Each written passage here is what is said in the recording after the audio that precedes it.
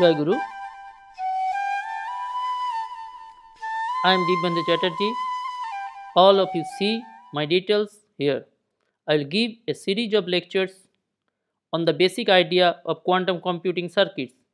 Here I will make you understand the quantum gates and circuits using IBM quantum computer.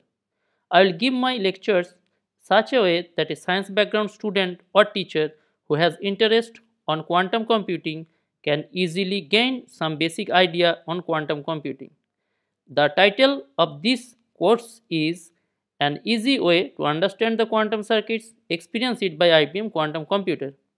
This course is divided into two parts. Part 1 Basic Idea on Quantum Logic and Quantum Gates. In this part, you will get a basic idea on quantum logic, quantum gates, measurement of qubit and operation of quantum gates. And part 2 Analysis of quantum circuits by IBM Q.